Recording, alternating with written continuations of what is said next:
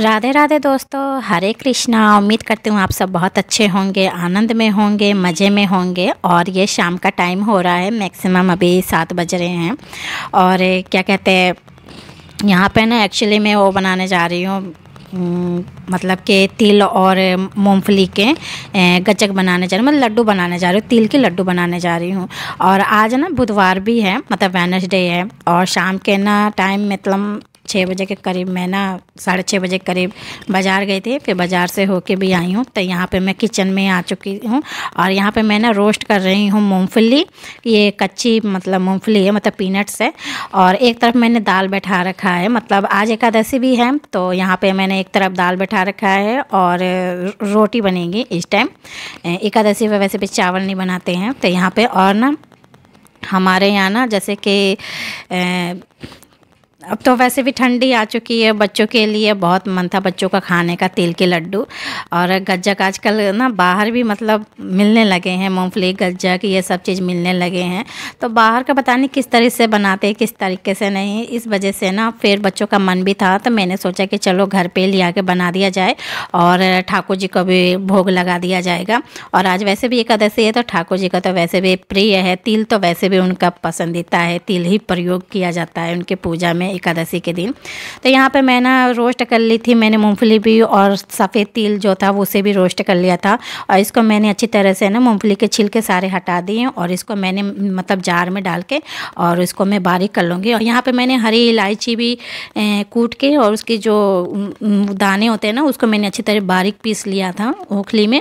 और एक तरफ़ मैंने ना कढ़ाई में पानी डालकर उसमें गुड़ डाल के रख दिया है मतलब होने के लिए। चाशनी बन रही है गुड़ की एक तरफ़।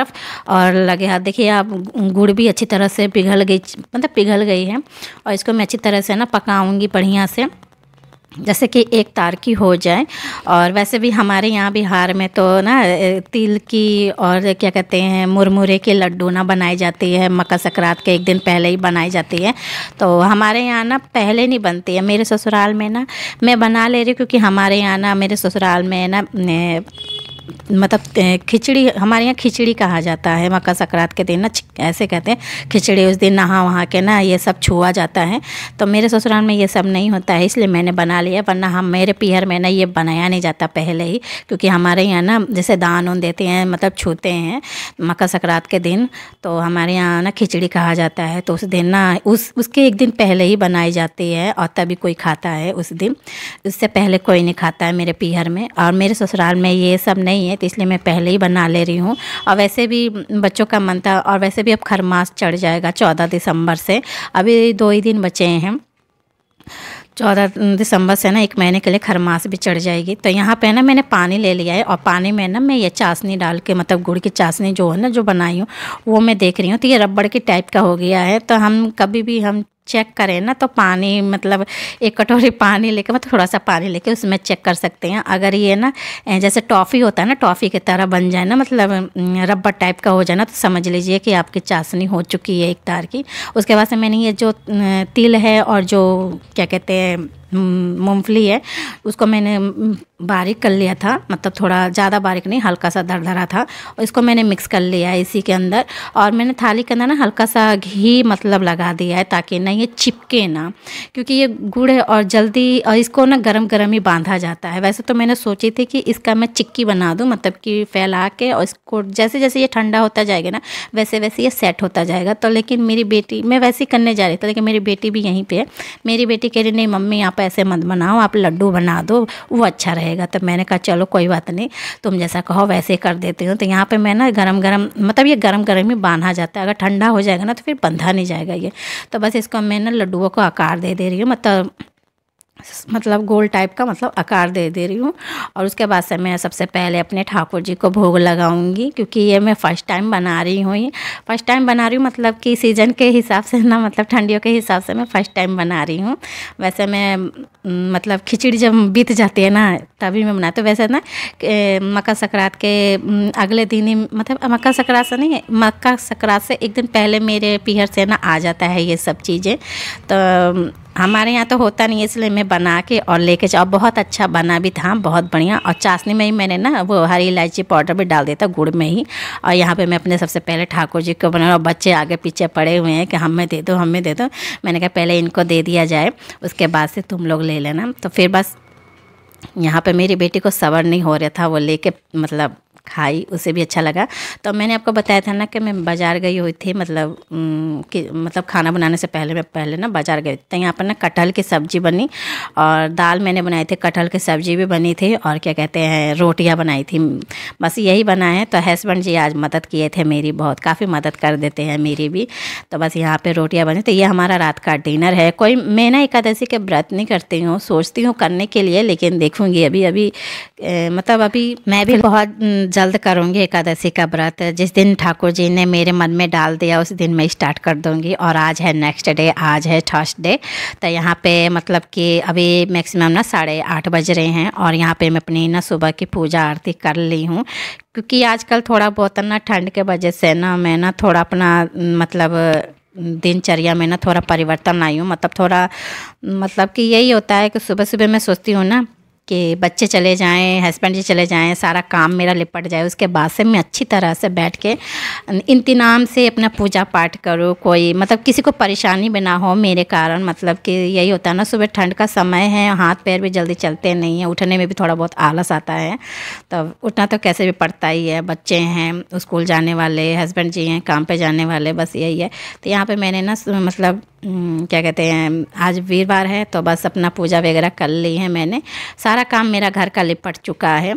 उसके बाद से मैं छत पे आई हूँ, सूर्य भगवान को जल अर्पित करने। यहाँ मेरी देवरानी अपना कपड़ा मतलब फैला रही है। डाल रहे क्योंकि हमारे छत पर धूप भी नहीं आती। आप लोग देख सकते हैं, आप लोग को मैंने वीडियो में बता भी रखा है। दीवार दीवार के साइड ही आती है और कपड़े ना सूखता नहीं है। मतलब बहुत ज़्यादा दिक्कत हो जाती है। यही होता है ना, जब अगल बगल का घर बन जाए ना तो बस एकदम धूप आना ही बंद हो गया। लेकिन गर्मियों में ठीक रहता है। फिर मैं आ गई हूँ किचन में और यहाँ पर मैं थोड़ा सा आटा लगा रही हूँ, क्योंकि कृष्णा को ना साढ़े बारह बजे से स्कूल जाना होता है। वैसे तो खाना मैंने सुबह ही बना लिया था। आलू की भुजी बनाई थी और पराठे बनाए थे और मतलब यही बस बनाई थी। तो सुबह बनाई थी ना तो उसके बाद से वो मैंने प्रियांशी को कृष्ण और कृष्णा का पापा को मैंने टिफ़िन में दे दिया था। उसके बाद से ना पराठे घट गए थे तो फिर मैं दोबारा ना मतलब मैंने सोचा था कि कोई बात नहीं, किचन की साफ़ सफ़ाई अच्छे से करके फिर मैं बनाऊँगी तो कृष्णा के लिए भी हो जाएगा। और ठाकुर जी के लिए आज द्वादशी भी है ना तो ठाकुर जी के लिए मुझे चावल भी बनाने हैं। तो चावल भी एक तरफ़ मैंने बैठा रखा है तो चावल एक तरफ़ बन रही है और एक तरफ़ मैं पराठे और बना दूँगी कृष्णा के लिए। अभी हम लोग खाए नहीं है। मैं सुबह ना बस, मैं अपना बताऊँ तो सुबह बस मैं एक गिलास गर्म पानी, जैसे गुनगुना पानी पीती हूँ और एक कप चाय में कोई नमक वगैरह नहीं खाती हूँ। मैं सोचती हूँ कि पहले ना घर का काम हो जाए, ये लोग चले जाए। उसके बाद से मैं अपना पूजा पाठ अच्छे से करती हूँ। कार्तिक के महीने में मैंने कोशिश करती हूँ कि बहुत जल्दी उठूँ, क्योंकि कार्तिक के महीने में जितना जल्दी उठा जाता है, उतना अच्छा होता है। तो मैं उठती हूँ ना तो सबसे पहले अपना घर का झाड़ू वगैरह करके हाथ पैर कुल्ला करके, उसके बाद से ना सुबह सुबह के मैं अभी बता रही हूँ, इस टाइम का अगन के महीना चल रहा है ना इस टाइम तो मैं थोड़ा देर से अपने ठाकुर जी को भी उठाती हूँ और अपना काम जैसे घर का लिपटा कर ही अपना पूजा पाठ करती हूँ सबको भेज के आराम से कि कोई मेरे को ना जैसे कि पाठ वगैरह करना होता है ना तो कोई मेरे को बीच में ना उठाए। इस वजह से मैं इन सबको भेज के ही घर का काम लिपटा के मैं अपना आराम से पूजा वगैरह करके उसके बाद से बाद में खाना खाती हूँ। तो अभी तक बस बना ही रही हूँ। अभी खाना वगैरह खाए नहीं हम लोग। बस मैं हूँ और कृष्णा है इस टाइम क्योंकि कृष्णा का भी टिफ़िन में मतलब टिफ़िन के लिए पराठे बना दे रही हूँ और एक तरफ़ चावल बैठा रखा है थोड़ा सा। तो मैं सब्ज़ी के साथ ले लूँगी। और यहाँ पे ना मतलब ठाकुर जी को भोग लगा के उसके बाद से ही लूँगी। तो यहाँ पे पराठे भी बन चुके हैं, चावल भी बन चुकी है। तो ये बैठा का चावल होता है ना, वही बनाया है। मैंने जैसे कहते हैं ना, माड़ पसाना वो वाला चावल नहीं है, पानी। सोची तो थी कुकर में बनाने के लिए थोड़ा सा बनाना था मुझे को तो इसलिए मैंने ना पतीली में बैठा दिया था।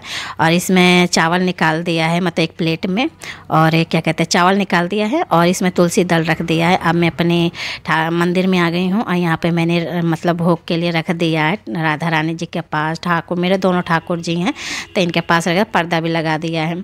तो बस यही था था तो यहाँ पे भोग लग चुकी है, अब मैं इसे उठा लूँगी। तो आप लोग देख सकते हैं मेरे मंदिर में कुछ अलग ही मतलब है। यहाँ पे मैंने कलश स्थापना कर रखा है। ये मैंने ना ऑनलाइन परचेज़ किया है मीशो से। अगर अगर आप लोग को चाहिए होगा तो आप लोग को मैं लिंक डाल दूँगी अपने डिटेशन बॉक्स में। आप लोग वहाँ से चेकआउट कर सकते हैं। और बहुत प्यारा ये मेरे को मिला और बहुत बढ़िया मतलब प्राइस में मिला मेरे को। बहुत तरीके से था। ये पूरे ब्रास का है। कभी अच्छी तरह से मैं आप लोग को दिखा दूँगी ये। सही है बहुत दिन से मैं सोच रही थी ऐसा लेना। तो दोस्तों, इस वीडियो को मैं यहीं पे ही एंड करना चाहूँगी। उम्मीद करती हूँ आप सभी को ये वीडियो पसंद आई होगी। अगर आई होगी तो मेरे चैनल को लाइक कर दीजिएगा। मिलेंगे नेक्स्ट वीडियो में। तब तक के लिए राधे राधे हरे कृष्णा, जय माता दी।